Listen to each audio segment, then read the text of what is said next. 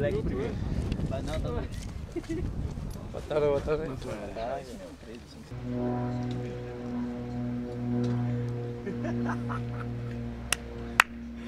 Ele chega, escuta ainda do dia. Quem é você, Gil? Tô falando de mim. Ah, o Léo tá aqui, ó. Qual que é o Léo? Esse de frente aqui, ó. Qual? Do meio? Esse aqui. Do lado do Henrique. Primeirão aqui, né? Isso. Aí, do lado do Montinho, já tá do Montinho. Na frente do Montinho. Aí,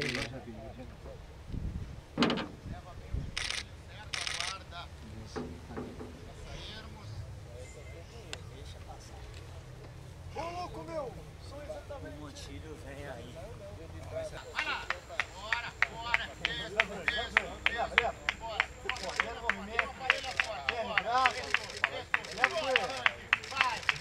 O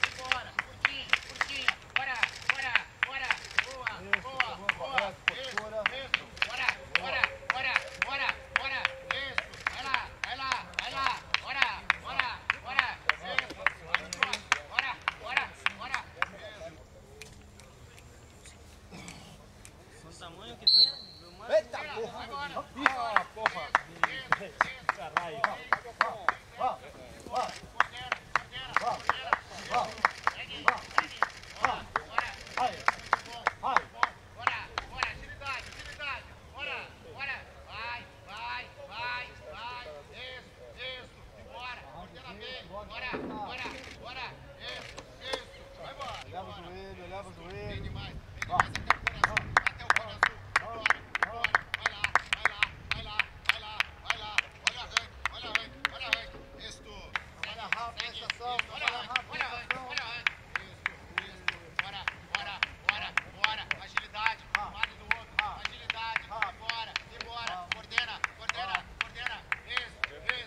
Teve um tomou um capote.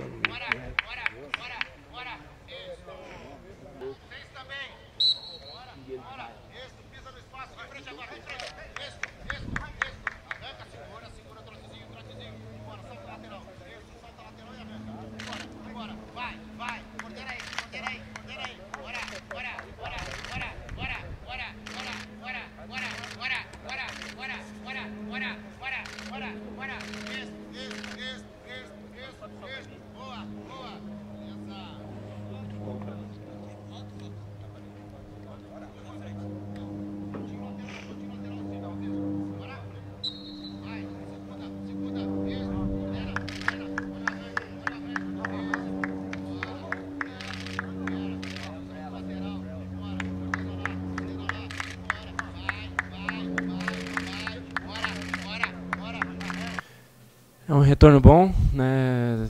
Essa, essa etapa de treinamentos também são, é, um- é muito boa, dá uma carga pro, pro primeiro semestre, né? Para a gente trabalhar, para a gente estar se dedicando, porque o primeiro semestre vai ser um muito disputado e muitas coisas vão acontecer, né? E a gente tem que estar preparado para isso, né? Alguns jogadores da, da defesa foram saíram, né? E a gente Espera da mesma forma ser aguerrido, ser competitivo dentro e fora de campo, né? Procurar mostrar sempre o melhor, né? Ainda tem jogadores de qualidade como Gil, Ed Carlos e o Naldo que vem chegando, né? A gente está nessa competitividade, isso só tem ganhar o Cruzeiro, né? A gente vai eh, ter essa disputa e, e a gente espera fazer um bom trabalho para que a equipe venha sempre sair vencedora. Como é que você encarou a saída ou as saídas do Caçapa e do Léo Silva, que eram jogadores que estavam ah, bem adaptados ao setor? É, certo a gente não esperava, mas é, isso é coisa do futebol, isso acontece mesmo. Né? Um sai, outros vêm. Né? Isso relativamente é normal, a gente né, tem, que, tem que saber lidar com isso também. É, Você não trabalhou com o Adilson Batista aqui no Cruzeiro, mas no início do ano, no Campeonato Mineiro, ele priorizou a Libertadores e é, deixou o Mineiro um pouco de lado. O Cuca disse que não vai fazer isso. Para vocês, jogadores, é, é diferente, o esforço é maior. O que, que você acha sobre isso, de não fazer o rodízio? Olha, eu acho, acho bom, acho bom que todo mundo quer jogar, todo mundo quer estar participando. Eu, inclusive, também quero estar dentro das duas, né, se for o caso, do Mineiro e da Libertadores. A gente fosse disputar as duas e ser campeão das duas. Esse é o nosso objetivo. A gente entra para chegar nas cabeças e a gente espera fazer o melhor, independente do, do campeonato que for, a gente vai procurar sempre fazer os resultados. O Jonathan mesmo disse que isso é impossível, tá disputando uma Libertadores e ter cabeça para pensar no Mineiro. Você pensa diferente dele? Eu já penso diferente, porque é um campeonato que a gente entra e todo campeonato que o Cruzeiro entra, o Cruzeiro entra para vencer, né? mesmo sendo Mineiro, mesmo sendo Libertadores. A gente vem fazendo bons trabalhos, né? preparando fisicamente para aguentar esses dois campeonatos, para que é, a gente venha fazer tanto um bom campeonato mineiro, tanto uma boa Libertadores. Ô, Léo, É, acho que o Campeonato Mineiro vai ser uma, uma boa prova para os garotos que estão subindo agora da base também, para mostrar para o Cuca que tem capacidade de disputar a Libertadores. E tem, tem gente que diz que jogador jovem sente ali, né, nesse tipo de competição. No seu caso, você acha que está preparado ou é realmente muito complicado pegar uma competição dessa? Não, acho tranquilo. Acho que os jogadores que estão aí já têm boa experiência para jogar o Libertadores. O que que você com O que você, né, Dudu, com, com a juventude pode agregar a esse, esse grupo, muitos jogadores experientes, principalmente numa Libertadores, o que efetivamente você pode ajudar o grupo? Não, acho que posso ajudar, competir bem, ajudar o Cruzeiro a ir forte na Libertadores. Agora, voltando à seleção brasileira, né, o Ney Franco, você atuou com ele no Curitiba ano passado, agora foi cortado da seleção. O que, que fica né, dessa experiência da seleção que você pode agregar aqui ao Cruzeiro? Ah, foi bom, experiência legal. Seleção sub-20. Lá fui cortado, lá tem garotos potencial enorme. Mas espero voltar aqui, esquecer esse negócio de seleção agora e só pensar no Cruzeiro. Dudu, o torcedor do Cruzeiro na rua ainda está olhando com alguma desconfiança para o grupo do Cruzeiro. Né? Ainda não conhece, não, não, Naldo veio aí, chegou, você voltou. Né? Essa contratação nova agora do Giovani para o lugar do Jonathan, que era o titular absoluto.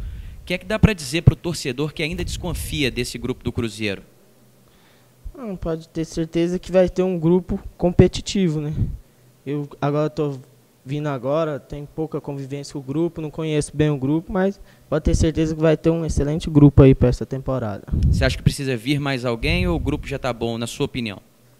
Ah, é, igual eu te falei, eu não conheço muitos jogadores, agora que eu estou me apegando a eles, mas acho que tem um grupo excelente aí.